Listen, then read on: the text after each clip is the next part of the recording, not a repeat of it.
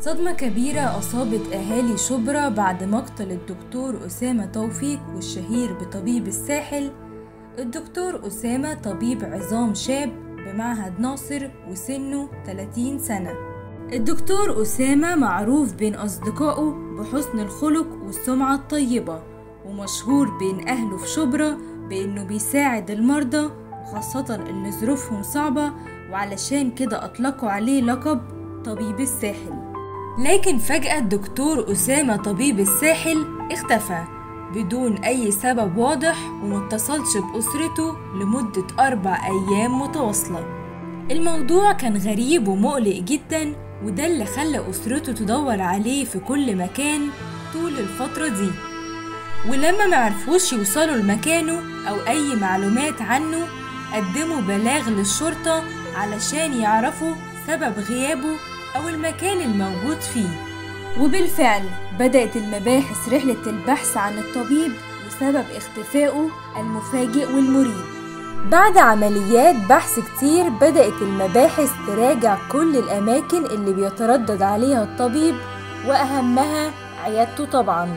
وبالفعل رجعوا كاميرات المراقبة اللي موجودة في العيادة علشان يعرفوا آخر مرة الدكتور خرج فيها من العيادة كانت إمتى؟ المفاجأة بقى إن الكاميرات صورت الدكتور وهو داخل عيادته لكن الغريب إنه ما ظهرش في أي وقت وهو بيخرج منها في اليوم ده. وإنما اللي خرج من العيادة شخص تاني خالص واللي ظهر في فيديو المراقبة إنه كان خارج من العيادة وهو مستعجل جدا وتقريبا كان بيجري.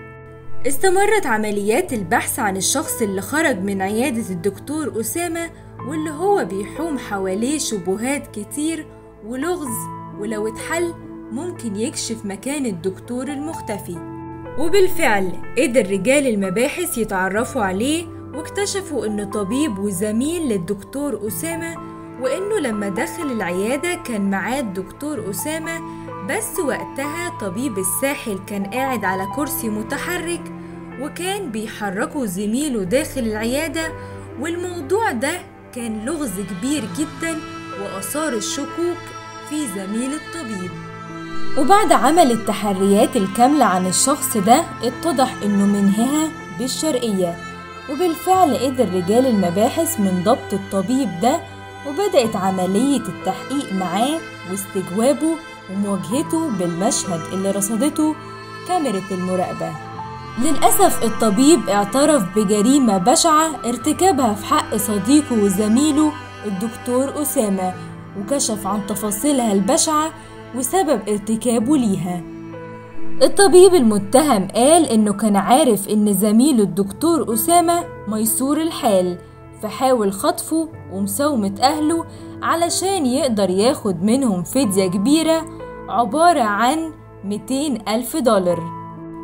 الجاني قال أمام جهات التحقيق إنه استدرك طبيب الساحل عن طريق سكرتيره الخاص بحجة إنه هيكشف على مريض في شقة هو كان مأجرها بهدف إن ينفذ العملية فيها.